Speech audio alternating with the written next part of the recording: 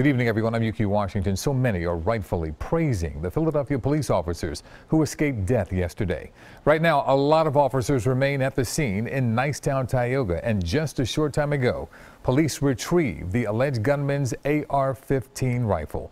The suspect, Maurice Hill, still has not yet been charged.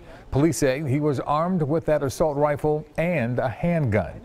The DA said his criminal past should have kept him off the streets. And now lawmakers are calling for stricter gun control even more.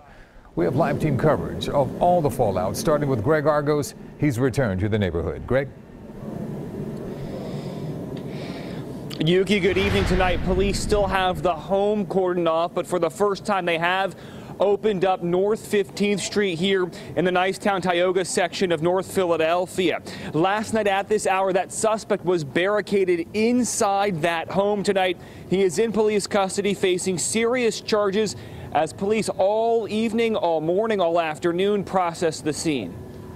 I'm still ringing off. Give me SWAT ASAP. Long gun, ASAP. Less than 24 hours after it felt like parts of North Philadelphia were under siege. It's a, a, truly harrowing experience. With a suspected shooter, 36 year old Maurice Hill in police custody after more than a seven hour standoff. Coming out.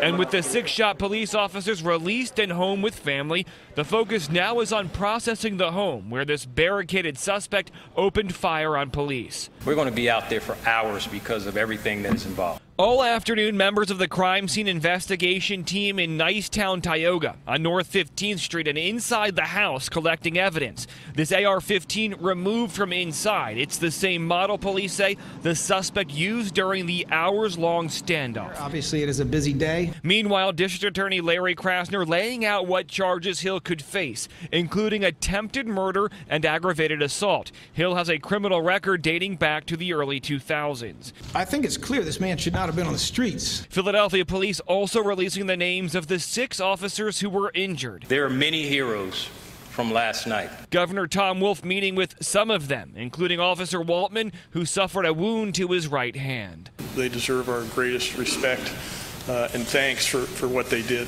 They walked toward the line of fire, not away from it.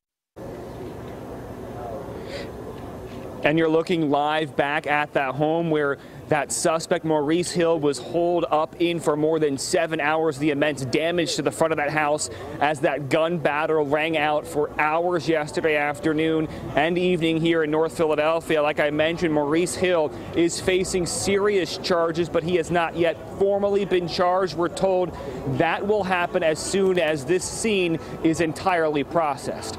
I'm live here in North Philadelphia. Greg Argos, CBS 3 Eyewitness News. Greg, thank you.